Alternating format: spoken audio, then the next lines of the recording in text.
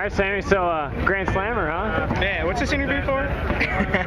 no, it's funny. You know, you uh, you accuse me of not uh, doing interviews for you, but uh, I always will. But um, you know, yeah, we got the Grand Slam. It was good. You know, like sucks uh, racing against the Cowies, but luckily I was able to pull out some strategy and bring home the win. Yeah, talk about that. Uh, a lot of people say you can't beat these Cowies at the mile, but you got her done tonight. Uh, what was your strategy to beat them? Uh, well, there was no beating Brian Smith. His bike was so fast, but then you know Brandon, um, you know Brian broke, so then it was just had to be Brandon and keep Jared behind me. Which uh, I thought I was just going to try and follow Brandon until like the last lap and, and kind of stuff him going into turn three on the last lap. But then Jared was all over me trying to pass me, and so we got really close there a few times, and then just decided I had to make my move.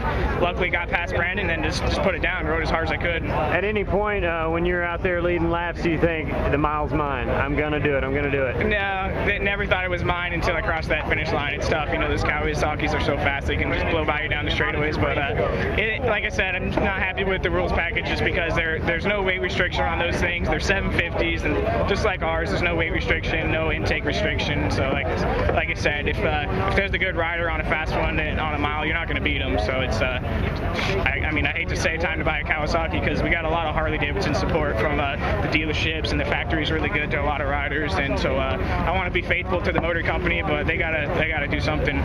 What about practice? You rode one in the first pre-practice. What'd you think about it? No comment. Uh, what about uh, what about the Grand Slam? Pretty elite list. Uh, You've been working on it for a while. yeah, it's awesome. All right. Congratulations, Sam.